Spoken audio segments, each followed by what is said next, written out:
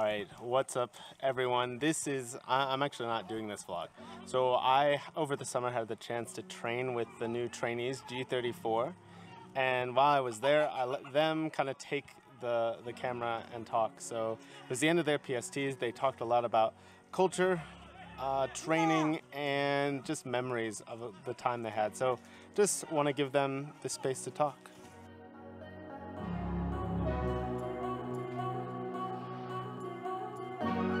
Actually grown really used to the food here. I, love it. My host mom makes really good like salads and everything for me, so I eat very well in Kenny.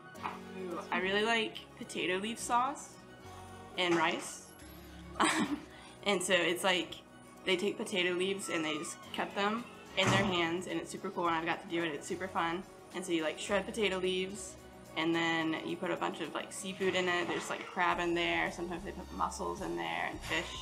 And then they like all sorts of other things. And then you put it over rice and it's delish. They greeted me with a great plate of rice and crab sauce. Very do, very good. you get used to it after a while, but it's very good. So there's the white eggplant, which is super bitter, super small, super bitter. You think it's disgusting, but you just gotta like smash it into oblivion and mix it in with everything else, and that's just like that's good nutrients.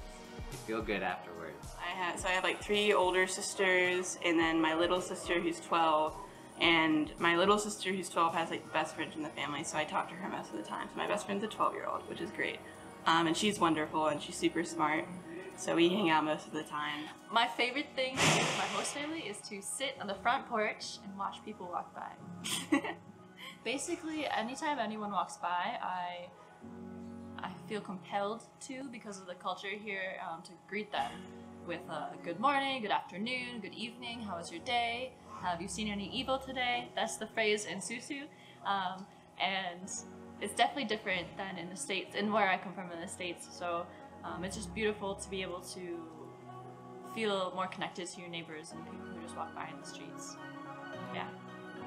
Just like making time for the family and seeing what they do um, is a good way to integrate. Otherwise, you, you there's a side of them that's just like any other family that kind of just sits around and watches TV.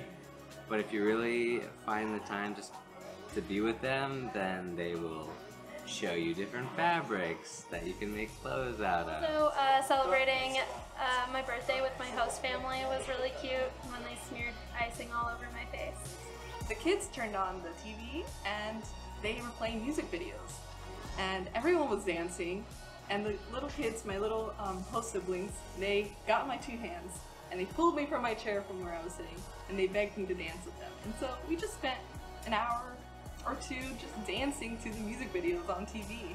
I learned the shoko shoko, which was really fun. I absolutely adore my host mom, even though we don't have a lot of like actual language communication. We speak in Susu, which is the the local language here, um, a little bit of French, and like a lot of hand motions. She's taught me how to make peanut butter. That was the first thing that she realized I could eat because I'm vegetarian, which was very like shocking. So um, we make peanut butter together, and like learning the whole process with her, I think has been one of my favorite experiences and she's always really excited when she like finds something else that I can eat so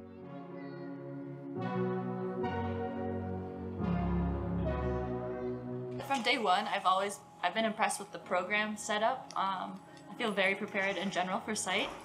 So, practice school is a three week period where we get to teach and practice teaching Guinean students from the surrounding Dubreka area at the local high school. And so there are students all the way from the middle school equivalent through high school, which is um, seventh grade through terminal. And we get to teach for three weeks, and we get about 30 hours of actual teaching hours experience. So each week uh, we're actually lucky enough to be able to develop an evaluation for our class, and then each week um, we get to give our class a test at the end. So that's on Friday, and so they get a grade for each week. And then right now what we're doing is we're combining all the grades um, from all the weeks. and getting their average. So we're going to rank the students, and then tomorrow there's a big uh, celebration of the end of practice school where we get to uh, give out some awards for students that did really well. Uh, so part of our PST is we have lang tech, lang, language technical training, which is where we take our French knowledge and combine it with our teaching knowledge. And so we do a lot of practice um, sessions where we practice doing our teaching in French, particularly with biology. Um, well, particularly with chemistry and, and physics.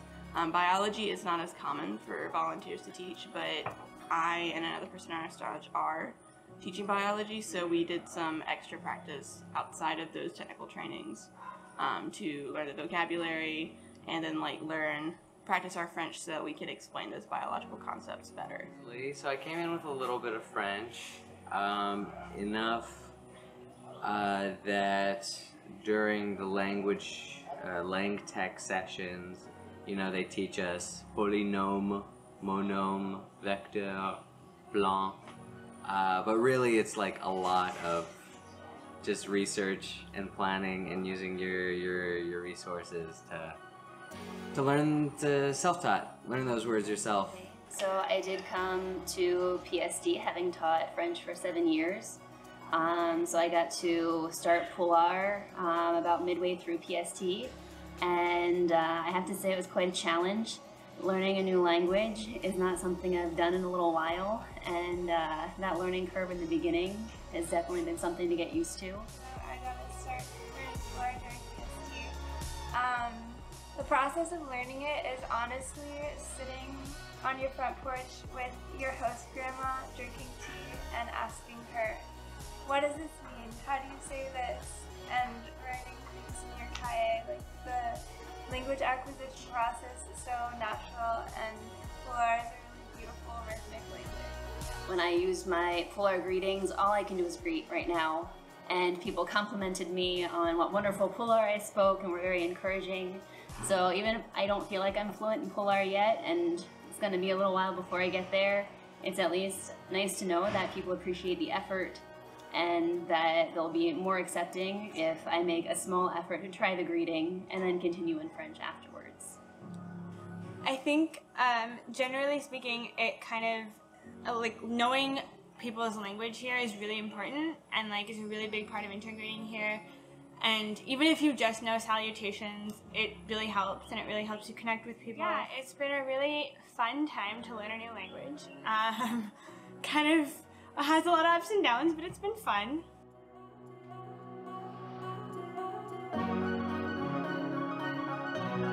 Think one of my favorite memories from PST is uh, one lazy Saturday when we were just hanging around and we went to the restaurant that was really close to the bureau here to get some shawarma. Um, we all split shawarma and couscous, and it was just a really nice time to get to know some of the other people from the group and you know, just spending time with each other and getting to know each other on a different level has been a really rewarding experience here. Host family has two dogs actually, and they walk me to school every morning. Uh, they sometimes follow me into school and like sleep under desks. Um, and I think everyone in my stage pretty much knows Daisy and Rock. Uh, yeah. My mom actually sent me a care package with uh, two toys and treats for them. My favorite memories of PST was going to the Cascades, and that was after some of the first couple of weeks that we were in country. Um, and it was just a really wonderful and refreshing moment and a wonderful time to just reflect under these roaring waterfalls. It was, it was really beautiful. I really enjoyed that. All right, I hope you all enjoyed that. If you got any more questions for them, leave them in the comments and I'll be sure to ask them and, and see if we can get any responses for you all. But uh, in the meantime, like, like, subscribe, do the things. Um, take care, and we'll see you next week.